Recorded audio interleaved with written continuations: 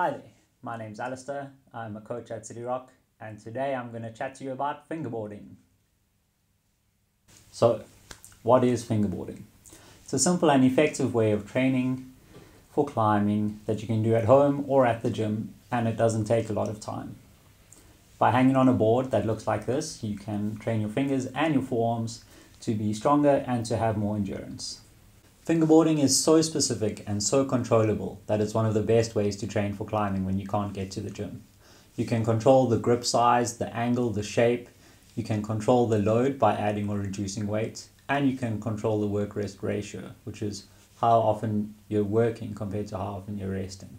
Why should you be fingerboarding? Because strength is one of the pillars of climbing performance and something you should constantly be working on. And more robust fingers are less likely to get injured. Before we get started with our fingerboard protocol, there's a few things we need to know. The first thing is how to actually hold your holds on the fingerboard.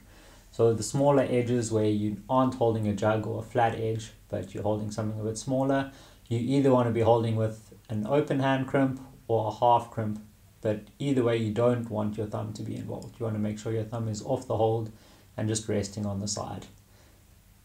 So a half crimp is where your fingers are bent at 90 degrees, and the open hand crimp, sometimes called a three finger drag, is where your three longest fingers, these three, are on the hold and your hand is as open as it can be while still holding on.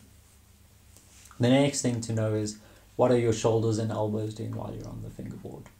So you want to make sure that your elbows are not straight, that they're slightly bent, and that your shoulders are down and away from your ears, not shrugged up like this if you have a look at these two photos, you can see the difference between good technique and bad technique for your shoulders and elbows. And the last thing is to watch this video from Lattice Training about three common mistakes that they found people make while they're fingerboarding. So definitely check that out. The link is in the description. Warming up before you start fingerboarding is really important. Fingerboarding is quite intense and the loaded places on your fingers and your joints is quite intense as well. So when you're warming up, don't hold back. Make sure you're working up a sweat and make sure that your body is prepared for the exercises you're going to be doing during your fingerboard protocol. I rest for about 5 to 10 minutes after my warm up before I start my protocol. Um, but that's up to you. If you feel ready after 5 minutes, that's cool. If you don't feel ready after 10 minutes, maybe give it another few minutes before you start.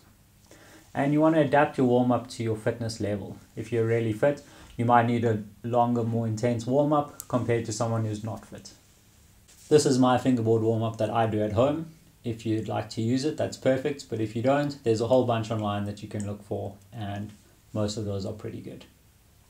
I start with 5 to 10 minutes of cardio, skipping, running around the garden, burpees, anything that gets the blood pumping and a sweat going. Then I'll do some dynamic mobility exercises for the upper body I do threading the needle, snow angels, and wall angels.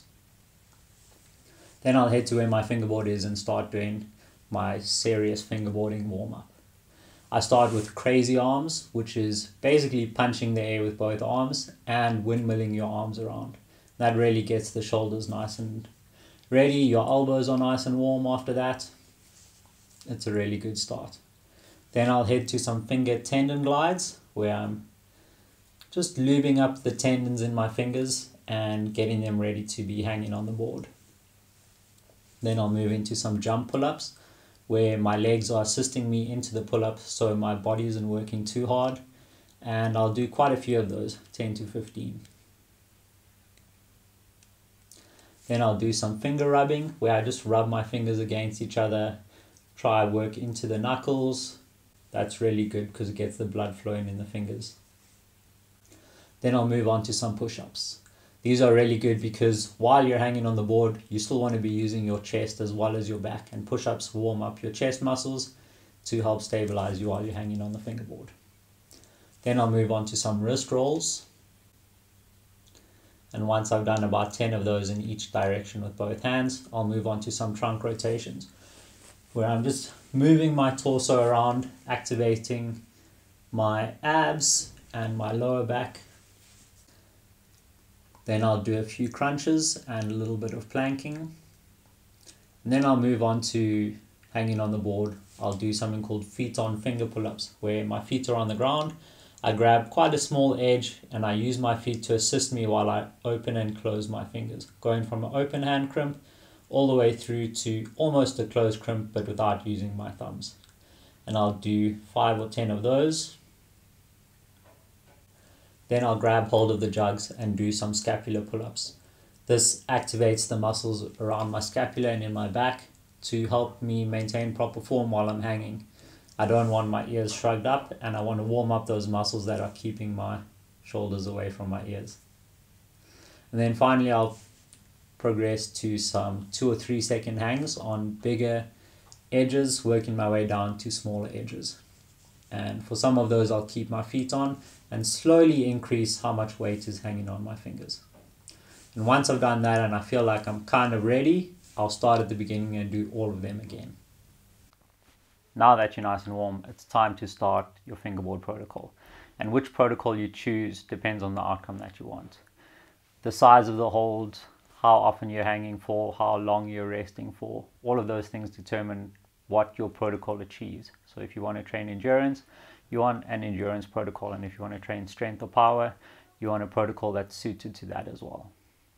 The internet is filled with different protocols and fingerboard routines that you can do. What's really important is that the routine you're doing or the protocol that you're doing is appropriate to what you want to achieve and that you're doing it consistently. Only fingerboarding once every two weeks is not enough to get you the training benefit that you want. Depending on how often you're climbing and how hard you're climbing, which at the moment during the quarantine is none, you should be fingerboarding two or three times a week. And if you're doing two hard boulder sessions a week, then one session a week of fingerboarding is all right. But if you're doing lots of endurance climbing in the gym or outside, then you should be doing two fingerboard sessions in a week. While you are doing your warm up, it's important to pay attention to your body and listen to what your body is telling you. Are you feeling at 100%? If so, perfect. Continue with the session and make sure you put in a good quality effort. Quality over quantity is really important when it comes to fingerboard training, especially for strength and power.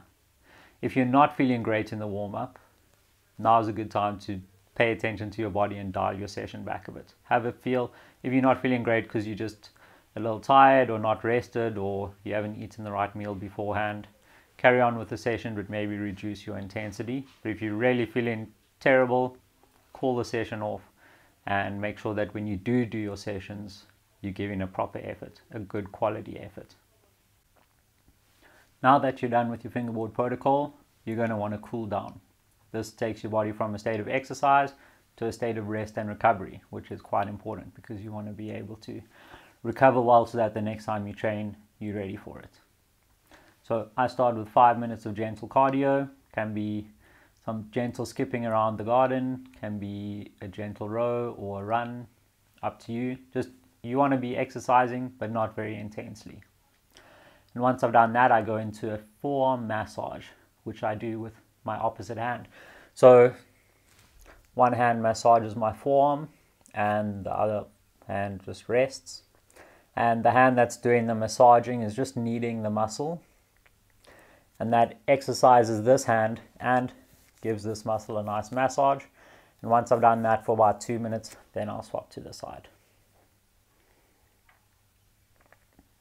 Once I've done my forearm massage, I massage my fingers. So I get some boo-boo butter, rub that over my hands, and then I gently massage my fingers. I press into the palm. There's a nice muscle here by your thumb that can get a good massage. And I press in between where my fingers go into my hand here and I give that a good massage as well. And then obviously around the knuckles.